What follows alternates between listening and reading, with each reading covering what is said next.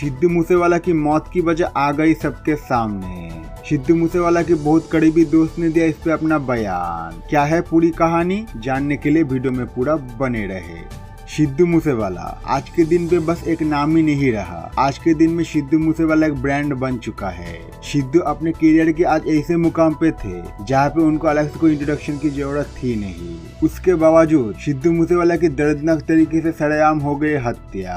पंजाब के कुख्यात gangster Lawrence Bishnoi के गैंग ने लिया इस चीज़ का ज़िम्मेदारी। लेकिन अभी तक इस चीज़ का खुलासा नहीं हुआ कि कैसे लॉरेंस के गैंग ने इस चीज़ को अंजाम दिया है। हाल ही में सिद्धू के बहुत करीबी दोस्त ने इस पे दिया अपना खुलासा। सिद्धू के दोस्त ने बोला, सिद्धू के कामयाबी से सिद्धू के काफ़ी परिवार वाले जलते थे। काफ़ी लोग सिद्धू को नापसंद भी करते थे।